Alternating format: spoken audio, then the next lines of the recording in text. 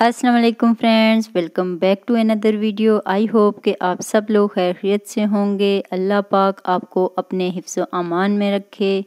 जहाँ रहें, खुश रहें, आबाद रहें और खुशियाँ बखेरते रहें।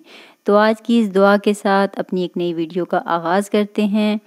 तो फ्रेंड्स आज की वीडियो में हम डिस्कस करेंगे कि किस तरह जो लड़कियाँ हैं, जो ब्राइडल हैं, अपनी शादी के तीनों फ़ंक्शंस यानी कि मेहंदी, बारात और वलीमा पर बहुत ही स्टाइलिश मॉडर्न और रिच लुक क्रिएट कर सकती हैं।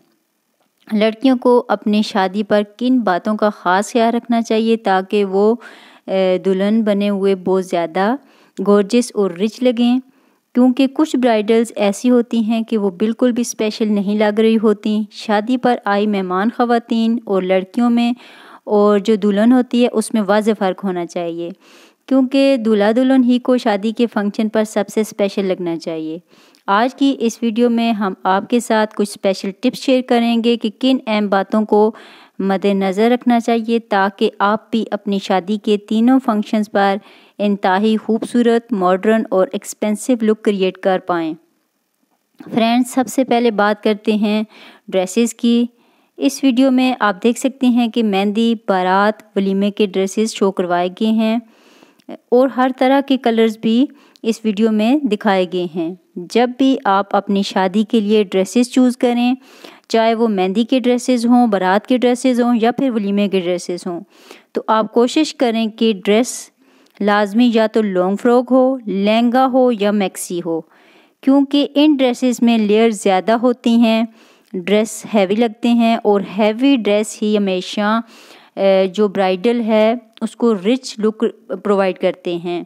हैवी ड्रेस से मुराद ये नहीं कि उसके ऊपर एम्ब्रॉयडरी बहुत ज़्यादा हो या फिर वो बहुत ज़्यादा महँगा हो एक्सपेंसिव हो बल्कि जिसमें फैब्रिक का इस्तेमाल बहुत ज़्यादा हो। आप अपने बजट के अकॉर्डिंग ड्रेस परचेज़ कर सकते हैं।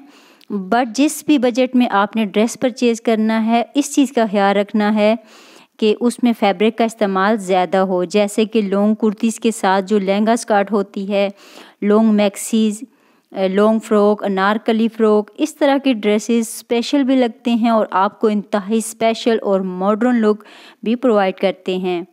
कुछ ड्रेसेस जिनमें कपड़े का इस्तेमाल कम होता है या फिर शॉर्ट ड्रेसेस अक्सर गर्ल्स अपनी मेहंदी पर, बारात पर वलीमे पर, वो शॉर्ट ड्रेसेस वियर कर लेती हैं, या फिर शलवार कमीज़ ड्रेस वियर कर लेती हैं। इस तरह के ड्रेसेस इन स्पेशल इवेंट्स पर बहुत ज़्यादा अट्रैक्टिव नहीं लगते। हमेशा ब्राइडल को सबसे अलग ड्रेस कैरी करना चाहिए। अब टिप नंबर टू की तरफ़ चलते हैं कि आप हमेशा इन ब्राइडल ड्रेसेस को हैवी दुपट्टे के साथ कैरी करें। दुपट्टा गले में वियर करने के बजाय इसको सही तरीके से जो दुल्हन का ट्रेडिशनल तरीका है, उस तरह से स्टाइल करें। इससे भी आप बहुत ही रिच मॉडर्न और स्टाइलिश लगेंगी। क्योंकि अक्सर देखा गया है कि गर्ल्स जो है ना, अपनी शादी के फ़ंक्शंस पर दुपट्टे को इतनी ज़्यादा इम्पोर्टेंस नहीं दे रही होती। क्योंकि अगर दुपट्टा सर पर ना लिया जाए तो दुल्हन का आधा रूप ख़त्म हो जाता है।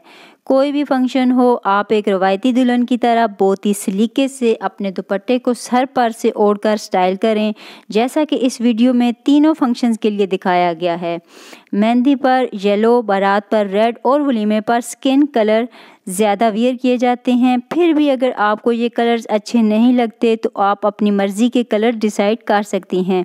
इस वीडियो में बारात और वलीमा के लिए हर तरह के कॉम्बिनेशन दिखाए गए हैं।